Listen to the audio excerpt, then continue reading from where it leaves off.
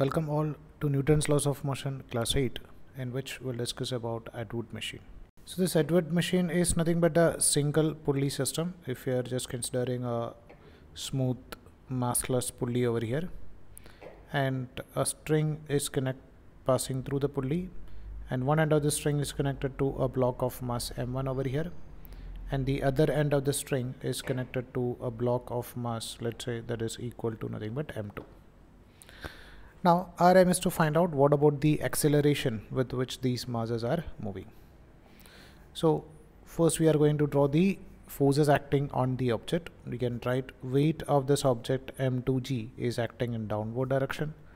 Weight of first object m1g is acting in downward direction. Now now take it as tension in the string is equal to nothing but T. Now just remember that over here this is same string. So in same string tension at each and every point will be same. So tension over here should also be taken as nothing but T.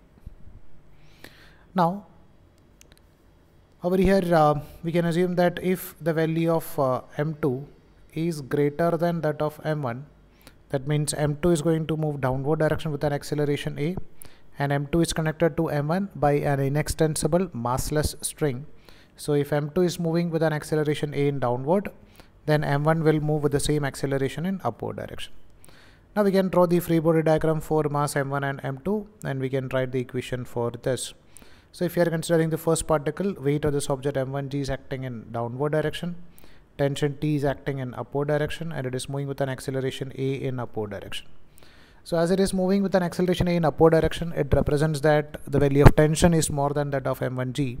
So over here we'll take the upward direction as positive. So we can write T minus m1g is the value of net force is equal to mass of object m1 into acceleration a.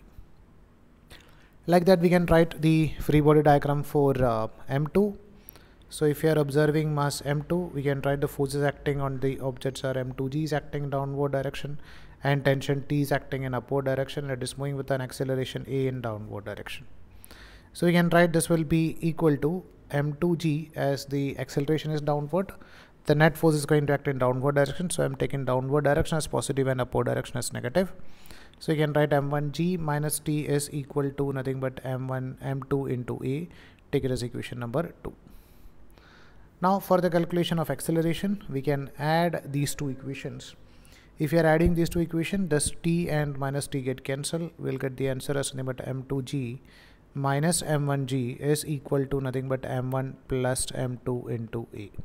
Or you can write the value of a is equal to, we can take this m2 minus m1 into g divided by m1 plus m2. This will give the value of acceleration.